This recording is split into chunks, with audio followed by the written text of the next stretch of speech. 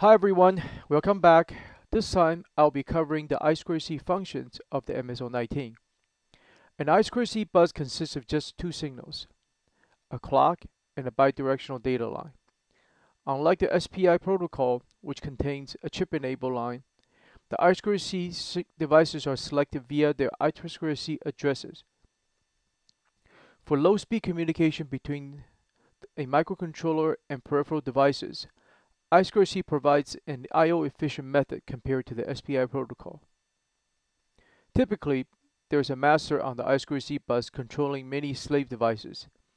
It is possible to have multiple masters, but it's trickier to implement.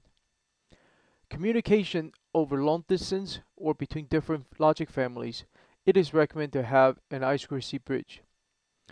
In this session, I've set up an Arduino talking to a 24LC64 EEPROM.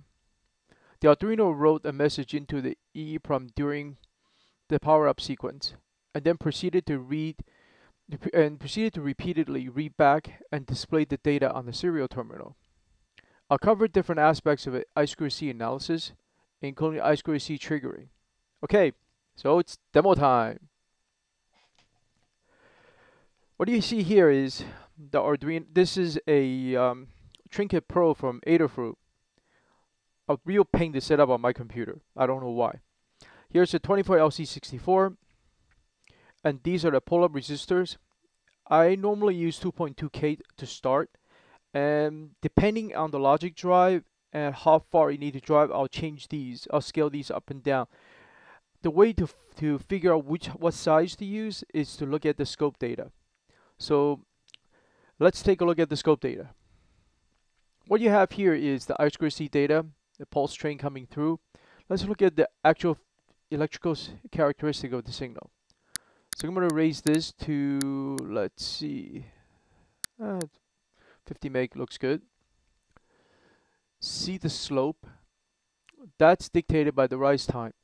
If our resistor is too large, this will slew out. If the resistor is too small, this will rise up really fast and this falling edge will have a hard time falling, especially during the, um, the acknowledge section, the acknowledge bit. So this is something you need to take to pay attention to when you wire multiple I2C bus. And remember to end terminate the, um, the data line and the SCL lines. Don't terminate the big, uh, by the master, terminate at the last device. Let's see, let's slow this guy down again to 200k. So this is what's going on on the, um, on the I2C bus. And what I have, here's a little Arduino sketch that basically it um it wrote a bunch of data out. It starts writing and then it loops repeatedly. To one thing to pay attention to is uh, I got this by the way I got this code from from um, Arduino Playground. This it's an older code, so there's a few things you need to, need to pay attention to. The send um, request, send and receive, got changed to read and write. So there's something you just need to do a global replace on the Arduino in the Arduino IDE.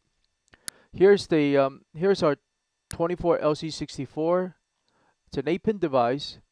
It's got ground and it's got three addresses. That means we can select we can and we can basically put up the eight devices. I got our write protect, got our clock, SCL, and then the data.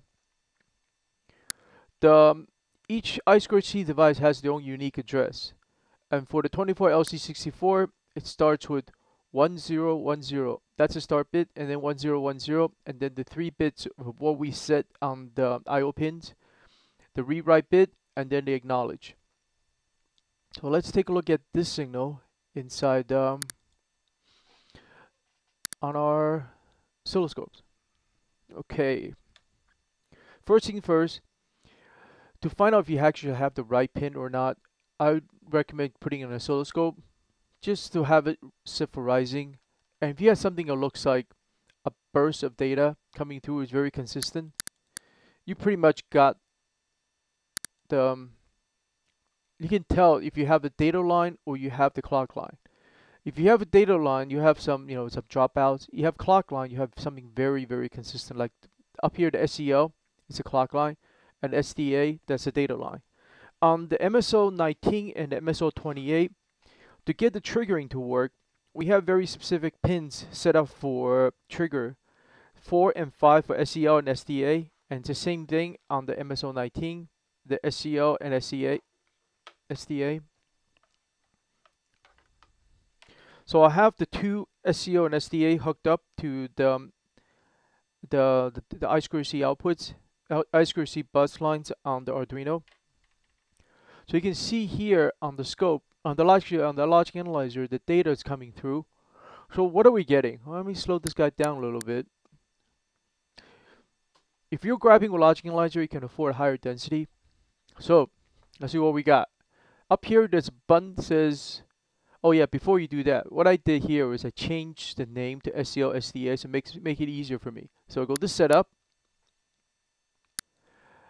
and go under logic analyzer and change channel 4 to SCL and channel 5 to SDA. So it'll display SDL SDA.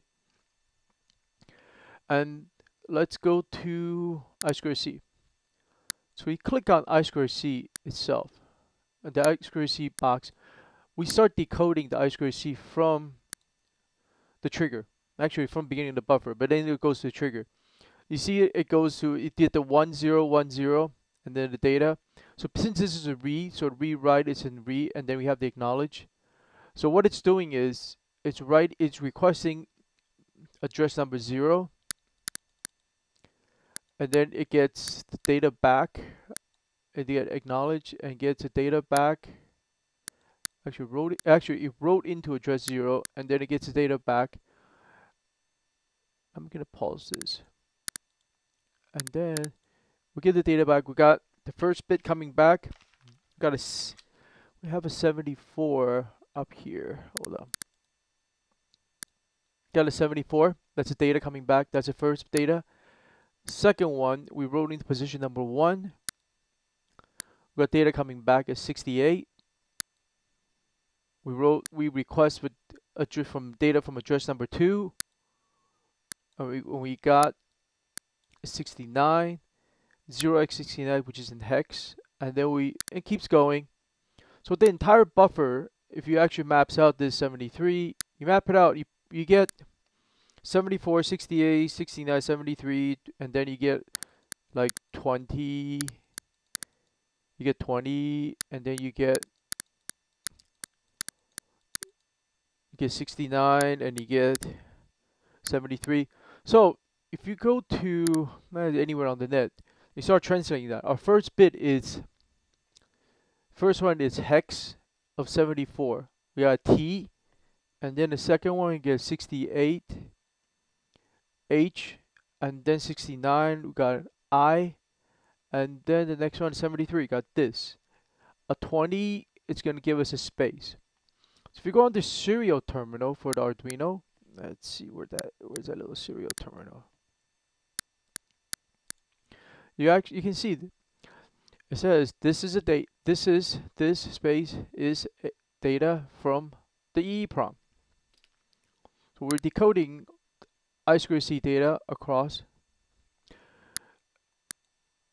and so what happens if you want to see a little bit further back? it's possible to use hold off to push the data back, let's say a few milliseconds.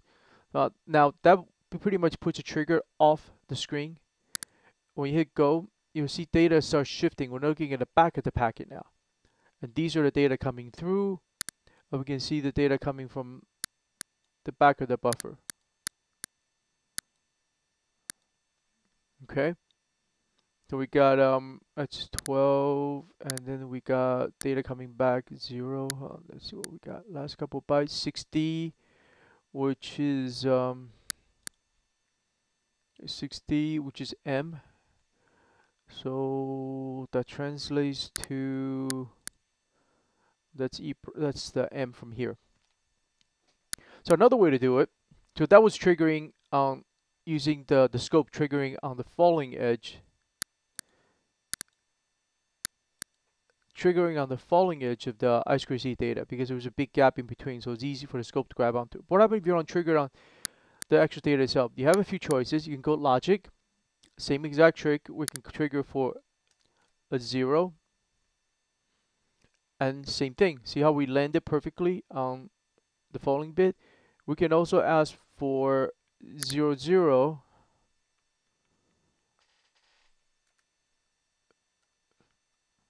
and again it's locked down onto the data. But the, one of the most powerful feature of the MSO19 is actually the serial triggering. So let's go to the serial trigger. Here's a nice select I square C. What I've selected now is um, 0 so my OSB MSB to OSB so 0 1 1 1 0 0 0 0 that is 7 that is 70 0, 1, 0, 0 to 7 and 0, 0, 0, 0, 70, that's P. So if you look at the serial pattern, there's occur there's only one P, which is right here, EE EEPROM, the P right here. And we set up I square C, we hit go, locks on over here, goes onto our display.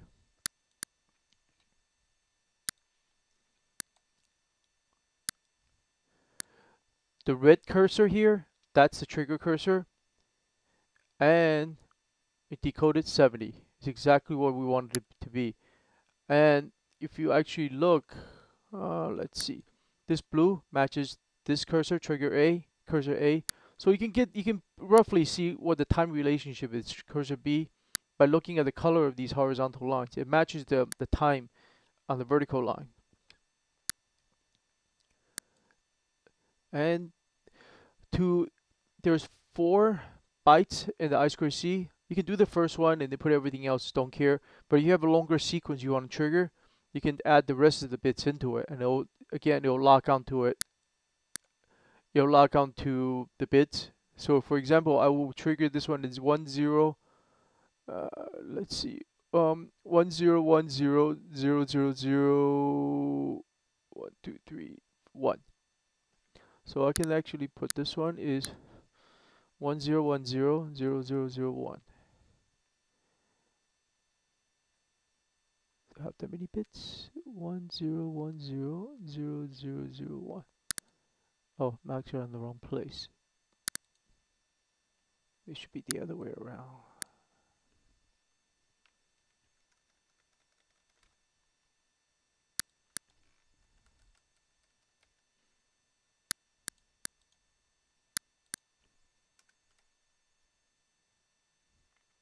That's the acknowledge bit. So zero one one one zero zero zero zero.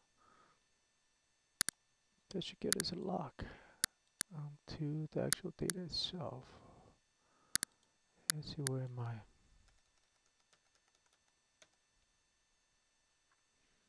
We're locking onto P and the next one should be A1. Ah, that's what I'm not getting a lock. It's A1 one.